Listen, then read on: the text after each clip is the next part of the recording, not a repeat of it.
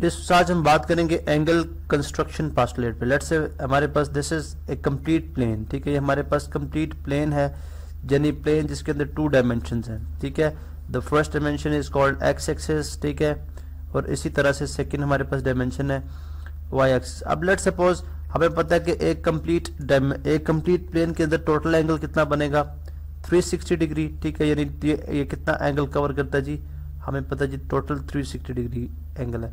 अब angle construction postulate जो है वो basically half of the plane पे हम बात करेंगे। लेट सपोज़ हम हाफ़ ऑफ़ द प्लेन यहाँ पे स्टडी कर रहे हैं। चलो जी, हम रिमेनिंग जो हाफ़ ऑफ़ द प्लेन है, उसको हम रब कर देते हैं।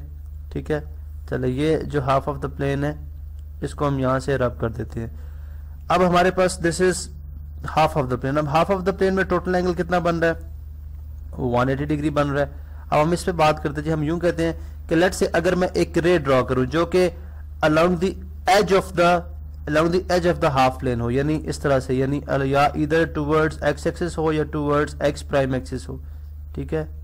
ये इसके एज पे है, ठीक है? ये फ़र्स्ट रे है, ठीक है? इसको लेट सपोज़ मैं नेम दे रहा हूँ ओ ए अब according to angle construction postulate हम ये बात करते हैं कि अब अगर हम कोई थीटा अगर हमको थीटा ड्रॉ करते हैं यानी थीटा मीन कोई angle theta represents angle theta is angle here ठीक है?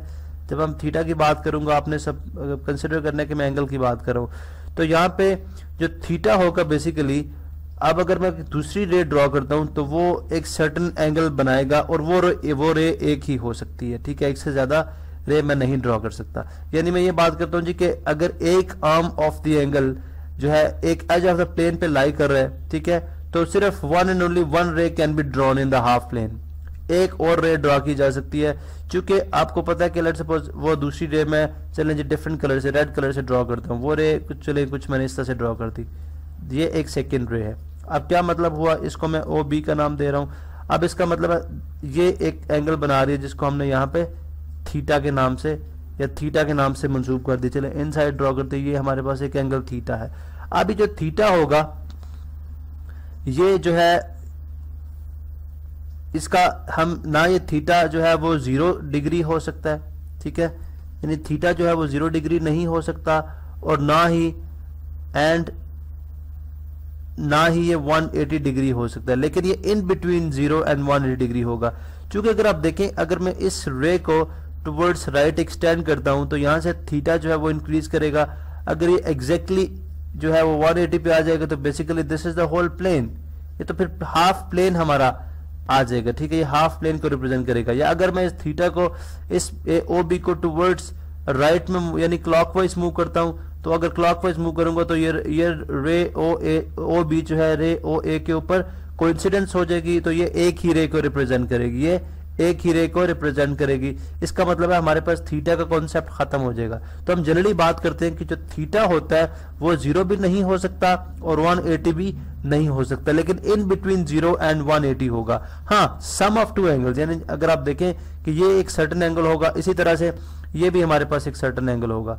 ठीक है, यहाँ पे अगर आप देखें तो ये हमारे पास एक सर्टन एंगल है, इस तरह से ये भी हमारे पास एक सर्टन एंगल है। इन दोनों का सम जो है, वो 180 डिग्री हो सकता है। ठीक है, वो इन दोनों का सम जो है वो 180 डिग्री हो सकता है। या, यानी हम यूँ बात करें कि थीटा जो है, ना वो ज़ीरो हो सकता है, ना वो 180 डिग्री हो सकता है। और जब हम एक थीटा के लिए एक रे जो है, वो अगर एज ऑफ़ द प्लेन पे लाई करती है तो ये बात अंडरस्टूड है कि दूसरी एक सिंगल रे ड्रॉ की जा सकती है, जो कि एंगल को, यानी थीटा को बनाएगी। यानी अगर हम इसको, इस इस रे को मैं शिफ्ट करके यहाँ पर ड्रॉ करूँगा तो बेसिकली रे ये एक ही होगी, जो कि एंगल एक्सटेंड हो जाएगा एंगल बढ़ जाएगा, ठीक है? लेकिन रे क्या होगी? ये सिंगली यानी वन रे होगी, जो कि इस प्लेन के अंदर लाई करेगी और एक थीटा को रिप्रेजेंट करेगी। और वो थीटा जो है, वो इन बिटवीन ज़ीरो डिग्री और 180 डिग्री होगा। सम ऑफ़ टू एंगल जो है, वो 180 डिग्री हो सकता है, ठीक है? लेकिन थीटा इटसेल्फ जो है वो ज़ीरो या 180 डिग्री नहीं हो सकता। ये बेसिकली है एंगल कंस्ट्रक्शन पास्टुलेट